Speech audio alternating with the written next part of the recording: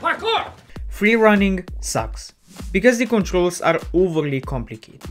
The gameplay idea is acceptable. You don't get a plot, you just get some maps to roam in and you do challenges in those maps. But even if it sounds like the first Tony Hawk games, don't get your hopes up, because this game has some horrible controls. In order to do tricks, you do combos, but the combos are so clunky to pull off that the game is more annoying than fun.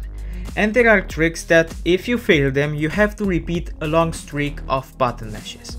Still, what is praiseworthy about the PSP version is that it looks identical to the PS2 version. And the port doesn't have frame rate issues.